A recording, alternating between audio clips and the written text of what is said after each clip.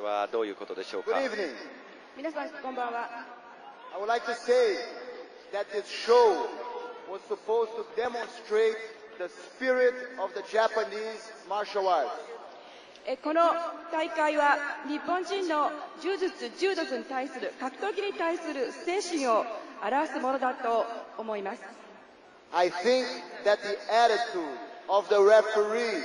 during Royce's fight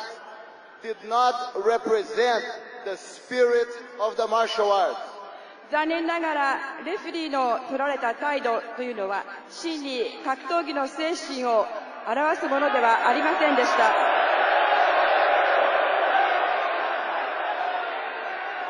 First of all, Yoshida did not have a complete move technique on Hoy. まず第一に吉田選手は完全に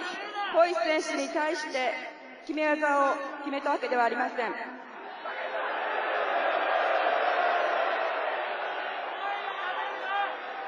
Second of all, never tapped. そして2つ目にホイス選手はタップをしませんでした And so, the only person that had the authority, according to the Pride Dynamite rule, to stop the fight was Royce's corner, Grandmaster Helio Gracie. 今回のホイッス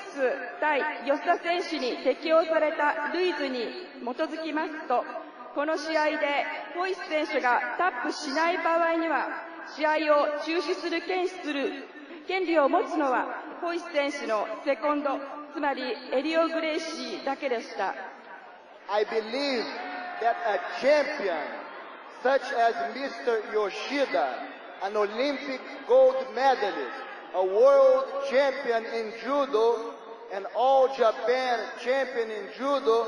does not need help from a referee to fight in front of his own Japanese public. また、吉田選手のような本当のチャンピオンであり、オリンピックで金メダルを獲得し、世界選手権でも日本選手権でもチャンピオンになった優れた選手は、日本というこの場で日本のファンの皆様の前での試合で試合では、レフェリーを味方につける必要はありません。I am a big fan of the Jap.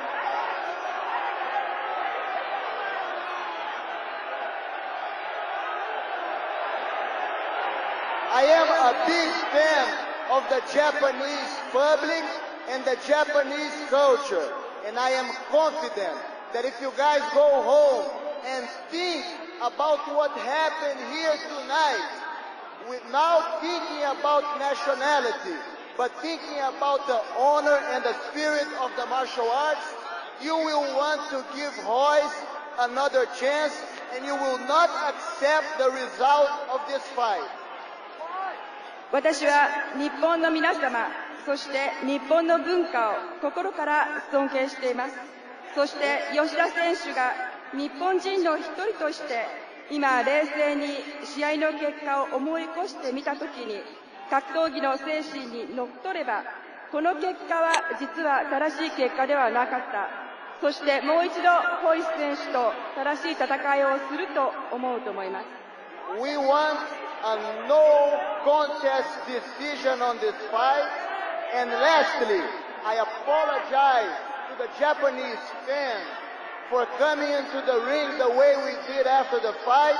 But I want you to understand that we are humans and that we cannot accept this type of shameful behavior that happened here tonight. Thank you very much. Have a good night. 私どもはこの試合を無効試合にすることを要求いたします。 また日本の皆様に対